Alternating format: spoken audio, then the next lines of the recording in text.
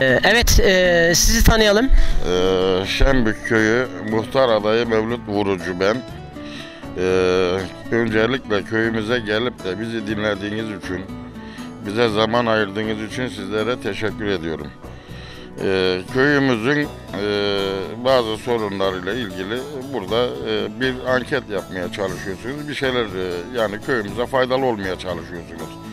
Köyümüzde eskisi gibi organik diye bir şey kalmadı. Sadece zeytin türünde organik bir e, şey vardır. E, o da neden? Ona herhangi bir şey katılmadığından, herhangi bir müdahale edilmediğinden dolayı buğdaymış, efendim nohutmuş, mercimekmiş bunlar hepsi e, tohumlarının genetiğiyle uğraşılmış ne olduğunu bilmediğimiz gidiyoruz satın alıp geliyoruz ama zeytinde bu tür bir şey yoktur. Zeytin organik bir ağaçtır. Organik bir köyümüzde gelir kaynağıdır. E, fakat e, şu son zamanlarda yani daha önce bizim e, bundan 15-20 yıl önceki yaşadığımız dönemlerde her şeyi organik olarak kendimiz yetiştirir, kendimiz yerdik. E, şimdi bir e, mesela gidiyoruz çarşıdan, pazardan e, bir sebze alıyoruz. Hiç onu da yani o yediğimiz daha önceki sebzelerin meyveler olsun yine aynı tadını alamıyoruz. Neden? Hepsinin tohumuyla uğraşılmış genetik şeyleri hep bozulmuş. Ee, ne oldu? Burada insanoğlu e, bilmediğimiz, adını daha önceleri duymadığımız hastalıklara e, hastalıklara kaldı. Hasta oldular hep. E, eskiden bizim köyümüzde kanseri bilen yoktu. Şimdi köyümüzde e, her 5-10 ya da yani e, 3-5 senede bir e, kanser hastası var İragula. E, bunlar neyden ilgili? Hepsi bu yediğimiz içtiğimizle ilgili şeyler. Köyümüzde olması olmaması gereken şeyler oldu. Ne oldu? Radyasyon. Köyümüzün en yakınlarına radyasyon üreten cihazlar dikildi. Bunlar ne oluyor? Halkımıza zarar veriyor. Halkımızı bütün e, bu sağlıkla ilgili şeylerini etkiliyor. İnsanoğlu. Mesela bunlar bize biz e, bunlar için müdahale ettiğimiz zaman bizden ileri gelenler ya da efendim e, bizden öncekiler, bizden yetkililer bize bu, bu şeyler hakkında fırsat vermiyorlar. Kendileri her şeyi örtbas ediyor, yapıyor, ediyor. Milletin başına, köyün başına getirip oturtturuyorlar. Efendim en birincisi şu rüzgar gülleri. Yerleşim birimlerine bu kadar yakın olmasının yani zararlı olduğunu, bunu yapanlar, bunu dikenler, kullananlar söylüyor. E biz bunlardan ne yapabiliriz? Hiçbir şey yapamayız. Çünkü bizim elimizde bir yetki yok. E, ondan sonra efendim e, bazı şeyler var. Mesela köyümüzle ilgili. E, gelen giden oluyor. E, illerden, ilçelerden yetkililer ne yapıyorlar? Sadece 5-10 dakika burada bulunuyorlar. Efendim ne ihtiyacın var? Ne yaparsın? Ne yapabiliriz? Söyledikleriyle kalıyorlar. Gelip de ilgilenmiyorlar. Peşine düşmüyorlar. Diğer arkadaşlarımız da güzel söylediler. Mesela bizi dinlemiyorlar diyorlar. Geliyorlar sadece 3-5 dakika. Ee, şimdi e, bunun için ne yapmak lazım? Bu şeyleri böyle halka bak sizin aracınızla, televizyon aracıyla duyurmak lazım. Bunu e, gerçekleştirmek lazım. Ya- Yağmur yağıyor arkadaşlar. E, yüksek müsaadenizden e, bitirmek- Biraz ara verelim. ara verelim. Evet sevgili izleyiciler, e, yağmur yağdığından e, içeriye geldik. İçeriye geldik. E, muhtar adayımız e, konuşmasını bitirmesi için ona mikrofonu uzatıyoruz. Evet. Yani eee, şöyle söyleyeyim, bizim köyümüzde bazı insanların yani daha doğrusu eee, birçok böyle eee, şeylerde ekim dikim işlerinde uğraşan arkadaşlarımız vardı. Eskiden çoktu. Bu tarla takım işlerine uğraş. Ben dahil çiftçilikle uğraşıyordum. Şu an emekliyim. Ama eee, yani şimdi ürünün azalması, verimin düşmesi sebebiyle birçok insan tarlasını satmak zorunda kalıyor. Ekmiyor, kiraya veriyor. Neden?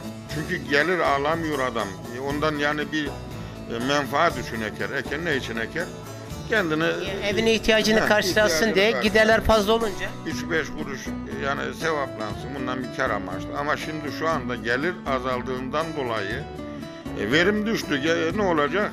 Adam e, mesela 20 bin lira masraf ediyorsa 10 bin lira gelir alıyor. E, niye uğraşsın bundan adam? E, bideri alıyorsun, satın alıyorsun, gübreyi satın, her şeyi satın al. Önceden halkımız kendisi biderini ayırırdı. E, dışarıdan bider almazdı. E, şimdi yok böyle bir şey. E, ikinci bir sene ektiğinde ya da üçüncü bir e, senesinde bir, aynı bider e, verim vermiyor. Yani bizim eski tohumlarımız e, daha önce ekiliyordu. Seneye tekrar sa- Evet. saklanıp tekrar bir daha ekilerek Tabii, ve tabii, e, tabii. masraf yapılmadan o şekilde bir de bu kadar gübreleme, ilaçlama da yoktu. Yoktu. Yoktu evet. Çünkü niye e, bu e, şeyi biderini biz kendimiz ayarlıyorduk. Kendimiz ayırıyorduk. En azından biliyorduk yani tohumun ne olduğunu. Ama şimdiki satın alma tohumlarda ne olduğunu bilmiyoruz. Genetiğiyle oynanmış hepsinin.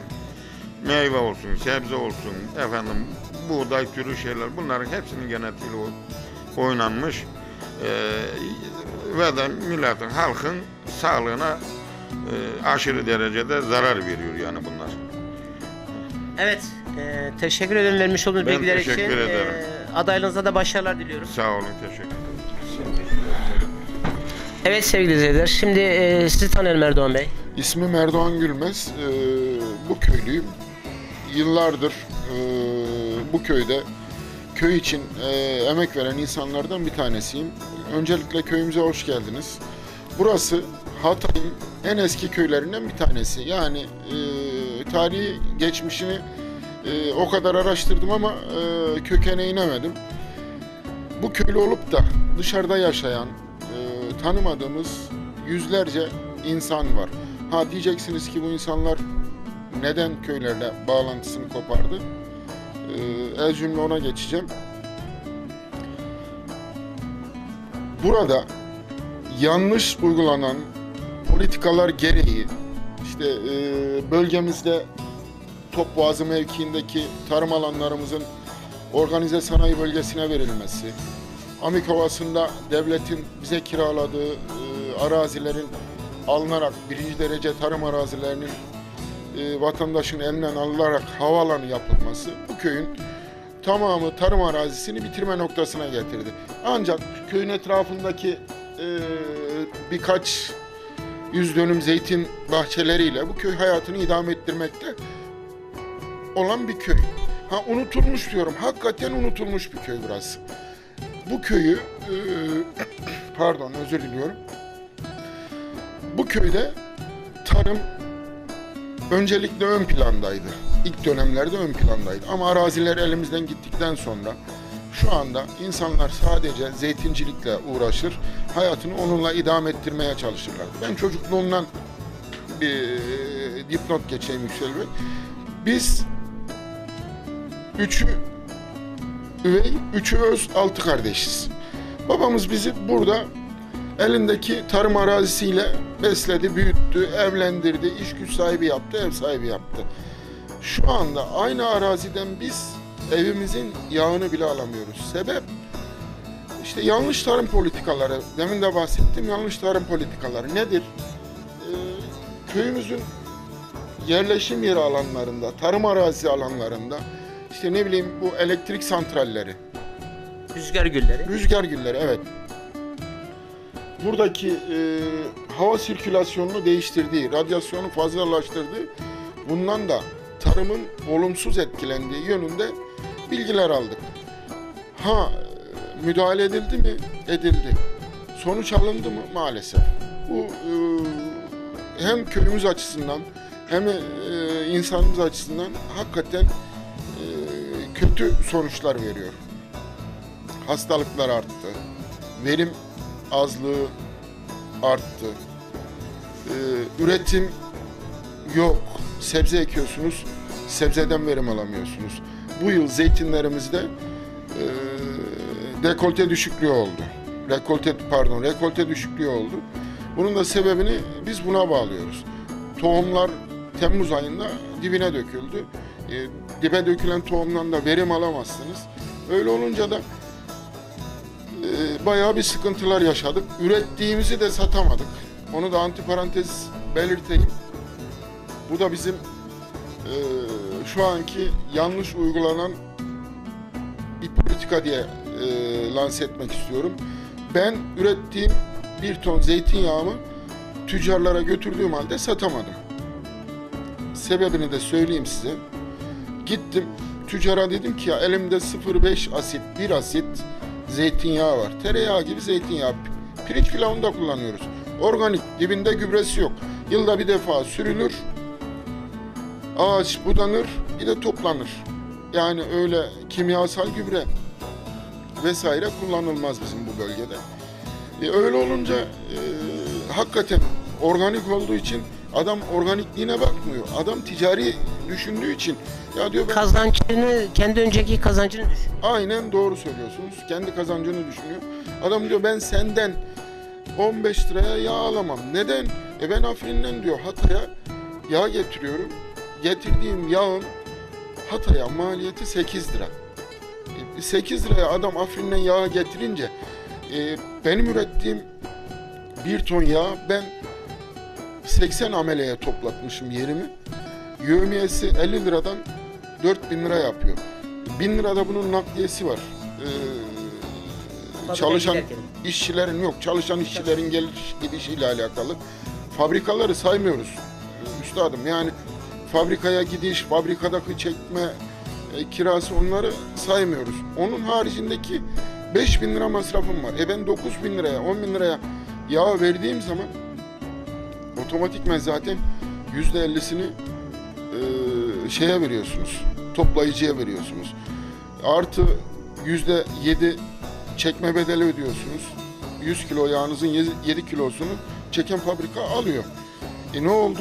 Otomatikmen e, 70 kilo da oradan düştü. Bir ton yağınız çıksa 500 kilo işçiye gitti. 70 kilo çekmek bedeli gitti. 430 kilo size kaldı. 430 kilo kalmadı. Bir de traktörle taşıma bedeli ödüyorsunuz. Bir 100 kilo da ona gidiyor. 300 kilo. E bu 300 kilo yağ bu insanlar satsın mı? Evine gıda olarak mı koysun? Ne yapsın? İnsanlar inanın çok perişan durumda. Anladım. Yani şimdi şu an anladığım kadarıyla bu sizin e, dışarıdan alınması, ithal edilmesi e, bizim diyorsunuz kendi yağımızı satamamamıza, kaliteli olmasına rağmen satamamamıza ve elimizde kalmasına sebep oldu diyorsun. Doğrudur, doğrudur. Aynen öyle. Yani bizim burada şu anda Hatay'da Altınözü bölgesinde bu yıl e, zeytin verimi çok düşüktü.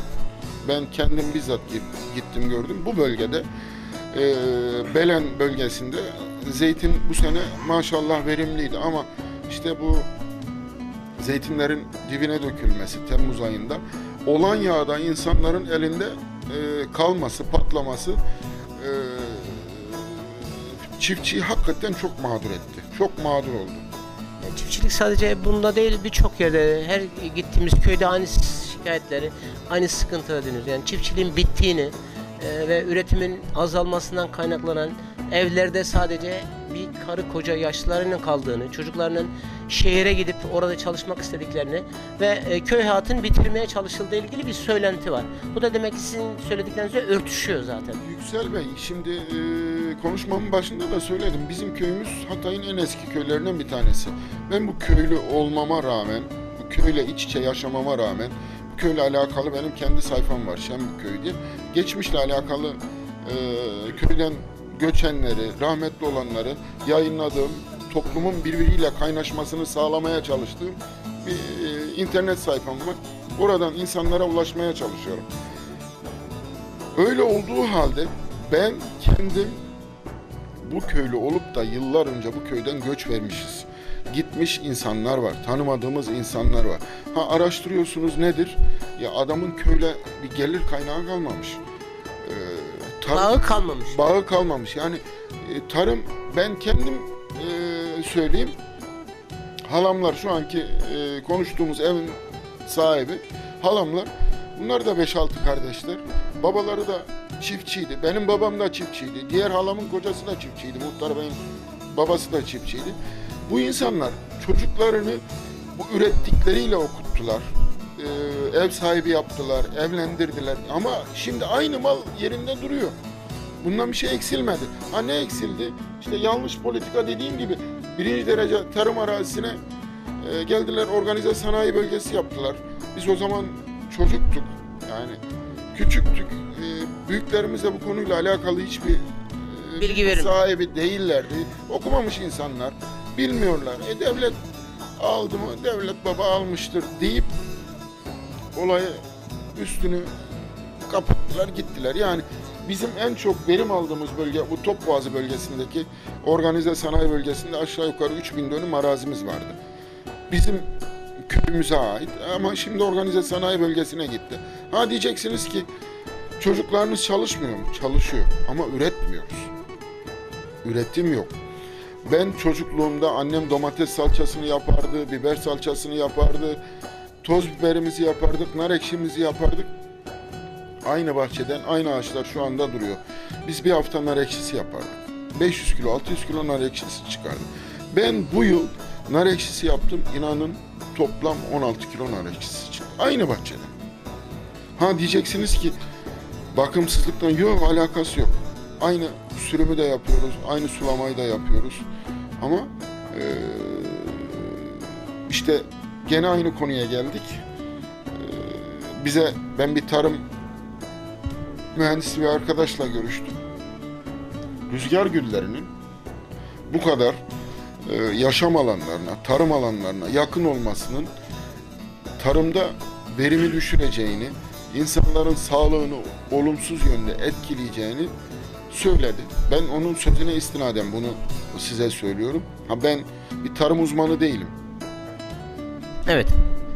ama e, Söylenenlere Tabii yani bu işin e, kompedanı bir insan bunu söylüyorsa ben de onun sözüne itibar etmek zorundayım. Ee, inanın şu anda çiftçi diye bir şey yok. Sadece köyler e, de Antakya'da, İskenderun'da şehir merkezinde oturan insanlarla hiçbir farkı kalmadı. Niye? Ee, sebze, sebzeye gelelim. Bir yıl ürettiğimizi biz domatesin çekirdeğini çıkartırdık Yüksel Bey. Domatesin çekirdeğini annem sıkardı bir galbur deriz. Galbura koyardı onu da kuruturdu. Bir yıl sonra işte onu fide yapardık, yetiştirirdik. Ee, tekrar domates ekerdik, biber ekerdik, patlıcan ekerdik. Şimdi alıyorsunuz, fide alıyorsunuz, fideyi ekiyorsunuz. Ona belirli bir ilaç, belirli bir gübre koymadığınız sürece ondan dahi verim, verim alamıyorsunuz. Bırakın tekrar ikinci yıl e, kullanmayı. kullanmayı. Tabi bakıyorsunuz şekilsiz domatesler, şekilsiz patlıcanlar, şekilsiz salatalıklar. Salatalığı alıyorsunuz, buzdolabına koyun, e, ölçün boyunu. Bunu deneyin lütfen, istirham ediyorum. 15 santimlik veya da 10 santim uzunluğunda bir salatalık alın. Buzdolabına koyun. İkinci gün tekrar ölç- ölçün. 10 santimse bir gün önce ölçtüğünüz salatalık ikinci gün 12 santime ulaşmıştır. Yani bunu orada bir toprakla bir bağlantısı yok. Bilmem neyle bir bağlantısı yok. Nasıl o hale geliyor? İşte Ormanlanın. hormonlanmış, genetiğiyle oy- oynanmış. Artık yeni yetişen nesillerin e, hepsi hastanelerde görüyorsunuz. Hastalıklar had safhaya çıkmış. İsmini duymadığımız hastalıklar gündeme gelmiş. E, bu köyde ben kanser hastası olanı görmemiştim. Yaşım 50'ye dayandı. Ben bu köyde kanser hastası insan duymamıştım da görmemiştim de. Ha, ne oldu? Son yıllarda işte bu yanlış uygulanan tarım arazilerinin içerisindeki bu sanayileşmenin verdiği zararlar neticesinde köyümüzde kanser hastası 3 yılda 5 yılda bir ha duyuyoruz ya falan kanser hastası olmuş. Falan kanserden ölmüş. Yani Yani bu yanlış e, şekilde kendi tohumumuzu üretmekten vazgeçip dışa bağımlı hareket ettiğimiz süre içerisinde ve bu e, yer- yerleşim yerlerine yakın rüzgar güllerinin yaratmış olduğu rasyonun neticesinde hastalık sayısı da arttı. aynen. Şu an demek ki yapılması gereken şey kendi tohumumuza, kendi topraklarımıza sahip çıkarak yerli tohumumuza dönerek kendi insanlarımızın sağlık yetişmesine geleceğine yardımcı olması anlamında bir çalışma yapılması gerekir. Peki bu konuyla ilgili Büyükşehir Belediye Başkanı'nın Yaladan da yapmış olduğu şeyi e, muhakkak ki duymuşsunuzdur.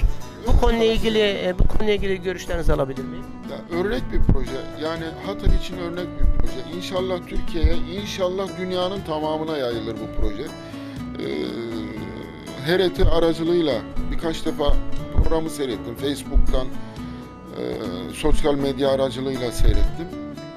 güzel bir proje. Eskiden unutulmuş işte Karakıl çıktı, e, Ali Bayır'dı, Sarıbaşlı Cumhuriyet'ti. Bu tür buğdalar gündeme geldi. Şu anda bu yeni yetişen nesle sorsanız bunları bilmezler. Bunlar bizim çocukluğumuzun Tohumları. tohumlarıydı. Evet. Ee, şimdi ben kendi çocuklarımdan örnek vereyim. Domates tohumunu göstersem bilmezler. Evet. Ee, üretmeden tüketmeye alışan bir toplum olduk.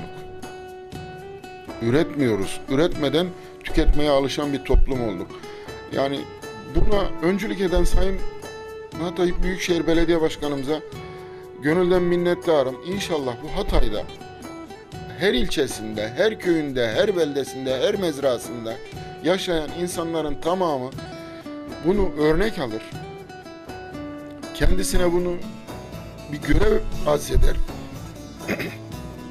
bunu yaygınlaştırır. İnşallah bu Hatay'da Türkiye'ye, Türkiye'den de bütün dünyaya yayılır.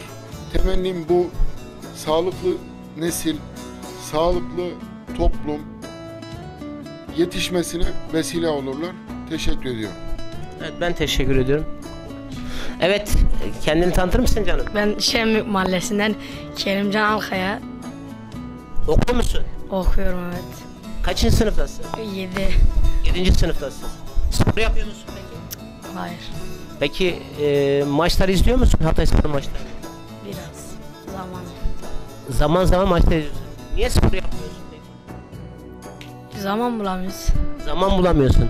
E, baban 15 saat çalışıyorum diyor sizler için.